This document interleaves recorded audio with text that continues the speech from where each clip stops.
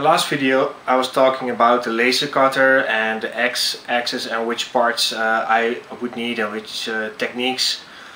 Um, this week uh, I received uh, the parts that I ordered for the x-axis and um, I'm going to check them out. So I'm going to basically do an unboxing video on my CNC uh, parts. Let's get to it. Alright, let's see what we have. the,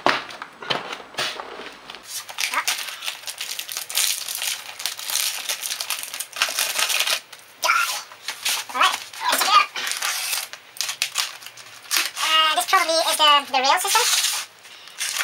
I explained about the rail and the movement just in one particular axis and not wiggling side to side. Um, I decided to go for um, a system that doesn't have bearings at all. It's like a dry bearing system. It, it's like a Teflon coated uh, stuff. And uh, well, I can't say the but uh, let's see. Let's get rid of this.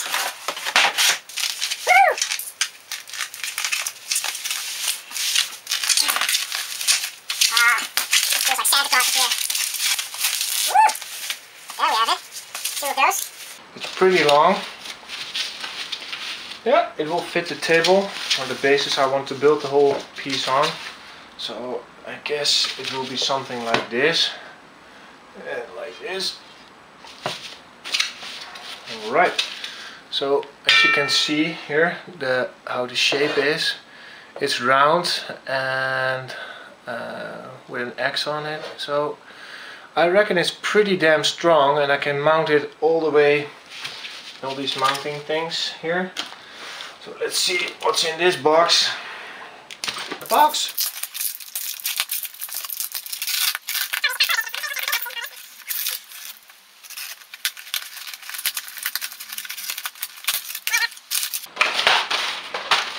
Woohoo!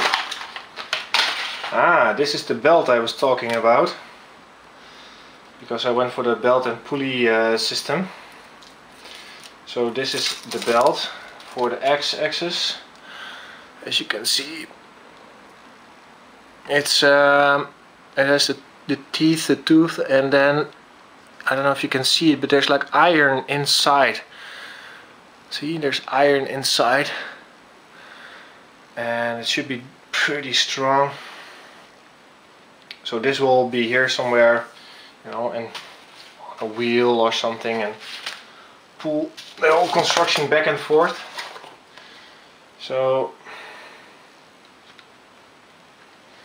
I don't know what this is. And these. Oh, okay. Yeah. These are cable glands. I didn't even order them. They just went with the micro switches, I guess. Okay, well, free stuff, always good. Uh, here you have the tiny micro switches that I need. Um, they will be on the end in the beginning. So when the whole rail system uh, hits the micro switch, it will then the system knows it's at the end. What I don't like is I asked for, I ordered ball bearing micro switch is there and this has just a lever with a weird shape on it so this is not what I ordered. So I don't like that. I have to call them again get mad on the phone and then to compensate they gave me this cable glands. Like I don't have enough of these. I have tons of those. Ah annoying.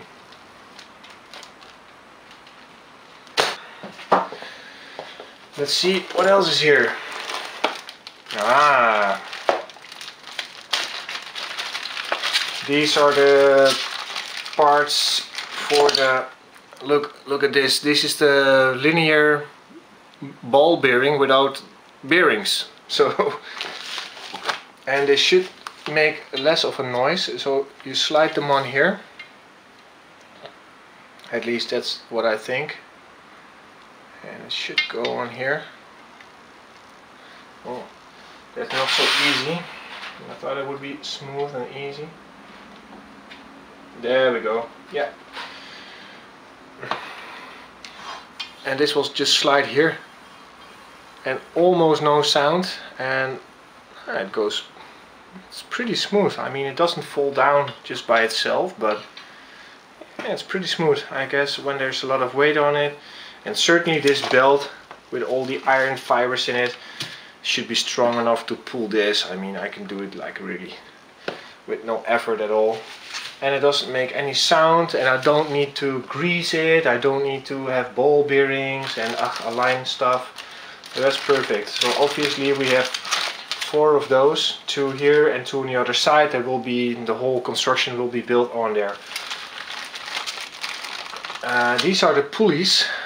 16 uh, tooth teeth and uh, they uh, they are nice uh, there's even uh, yeah this is what I ordered as well they uh, did it with a with a CNC machine. They make the hole in the center bigger, and they put put a, some kind of ring inside.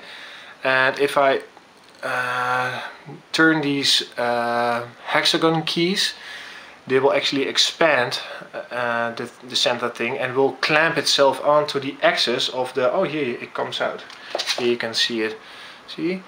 So this little part, uh, you can, you know, turn this and it will actually expand a little bit and just enough for the uh, for the whole thing to get grip to get grip on the on the stepper motor because that's the goal and I didn't they said I could glue them but I don't know with gluing if I may change my mind and I want a different uh, gear yeah when it's glued I can throw the whole stepper away so and this way I can you know try little variations in the in the in the pulleys. So hopefully this will work and I don't need to go there. But it's nice, they kept word, uh, so they made it all fit. So that looks really good.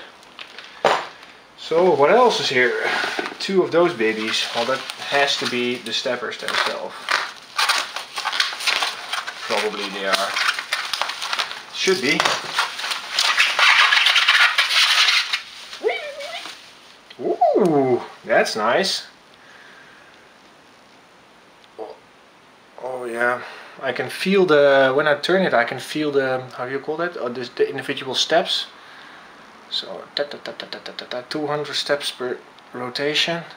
So that's good. Um, this can be opened and when I open it, um, oh now I know what these are. These are supposed to go on here. That's it, I guess. Yeah, that's it.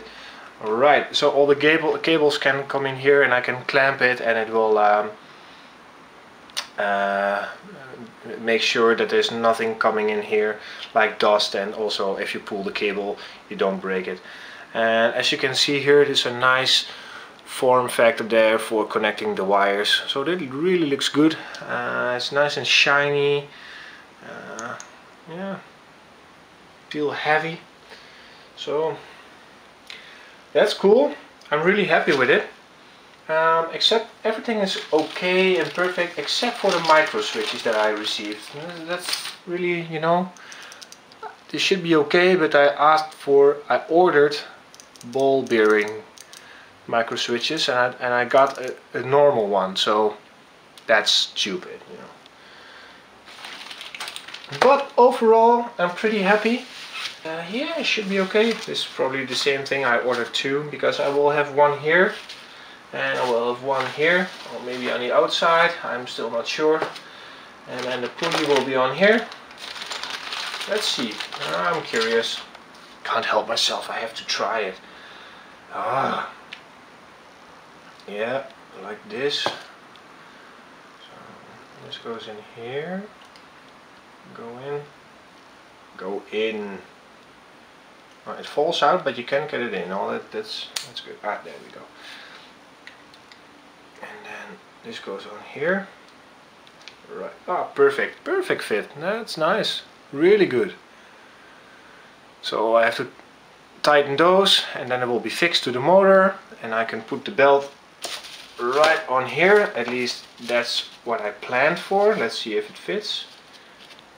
Yeah, it does see the width is okay perfect fit and also the tooth they're gripping on to the to the thing so yeah that works nice This week I got a question uh, about which solder to use. Actually, I got the same question from two people. So a lot of people are struggling with this. Well, let's just start with one basic thing, which is the diameter of the solder. If you can only choose one diameter, because you're on a budget or whatever, go for the 0.5 millimeters or around it's the most versatile thickness that you can have. You can do SMD with it, you can do through hole, you can do wires. It's very versatile. If you can pick another one, uh, like two, which I can, I did. I um, did an extra one, I bought an extra one which is 0.9 millimeters and I use this for bigger wires or uh, components that have a lot of uh, area for cooling like bit MOSFETs that are surface mount these type of things, I use a somewhat bigger diameter. But by far I use the 0.5 the most. So that's the first thing. Don't go too big because you cannot, you know, um, control the amount of solder that you're using. So go for a thinner one, it makes your life much easier. The second thing you have to be aware of is if it's leaded or lead free. Leaded is more easy to solder, it solders at a lower temperature, it's easier on your components, although modern components can withstand quite a lot of temperature, high temperatures, but it's something you have to be aware of. So if you're a beginner and you're soldering only for yourself, for your own little projects and you're not doing it every day, go for the leaded one, like 40% lead, which is fine. Um, if you're more professional and you have to also follow some regulations and you're more concerned about your health and you're doing it a lot, go for the lead-free ones. So that's that's the other topic. And the last thing which is important is the resin which is inside or the flux. Uh, you always need something with a flux which eats away all the corrosion on your uh, parts that you're soldering. Um, and uh, which is a good thing because that makes it actually solder. Um, in fact it's the little vapor that comes out of the solder when you're you know melting it, it, there's a vapor coming out a little bit of smoke. That is the flux. If the if the solder is not smoking anymore you shouldn't be soldering with it. So this is also why I say don't paint you know put it on and then all the vapor goes off and then you're smearing it on your components. That's really bad. Don't do that. And the last thing you should be aware of when you're picking solder that is that the, the resin or the flux which is inside is not only aggressive on the on the corrosion, on the erosion of the not the corrosion of the, the materials that you're soldering, which is a good thing because it has a better connection then. Um, but it can also be aggressive on the copper itself, um, and which is a bad thing, especially if you have uh, like stranded thin wire um, because it will eat away the copper over time and it may actually break especially if you have vibrations in your installation or your uh, product. It can eat it away and eventually it will fail. It will break it will snap off. Um, this happens when you use um, a solder with a flux inside which has the clean the clean which is clean labeled and I thought well clean uh, it is clean. So no what it means is you should clean afterwards. So you have to remove all the flux and, uh, and, and the resin from your uh, product. Um, so you have to clean it. Um, that way you prevent you know after after reactions chemical reactions.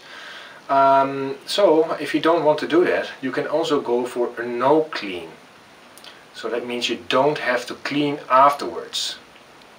So um, what I picked was 0.5, 0.9 millimeters. I have two for different uh, situations. Uh, it's lead free and it's a no clean. That's what I use. And the second question is, can you do something about this high beep noise that you have in the video? So actually it's not really a question, it's more like a feedback slash question. Um, and I also heard it and it was also uh, annoying me but I, I couldn't find like audio filters in the video edit program that I was using. So I tried a couple of different uh, programs and uh, as it turned out it is actually my audio program which I my audio sequencer um, that I used to use uh, for audio productions that has now an update that can do video editing as well. And as it turns out, that is the best option for me. It's It works brilliantly, it, uh, the workflow is nice, I know the program already, I can do all the VSTs and VSTIs. And for video editing, I basically only need to, you know, like cut. So I'm not doing video editing anymore in a video editor, I'm doing video editing in an audio editor because it's better. So all the video editors, programmers there, out there, um, you have been beaten by an audio program. Think about that.